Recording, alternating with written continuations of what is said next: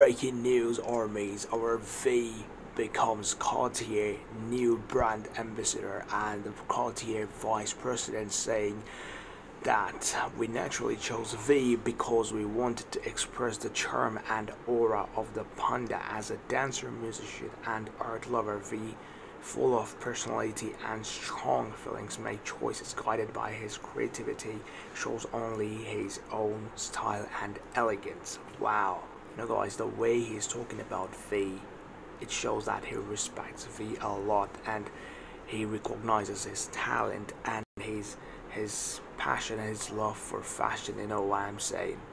Look at Cartier new brand ambassador. He looks fine. And uh, Cartier chose the right person to promote their um, their brand you know what I'm saying?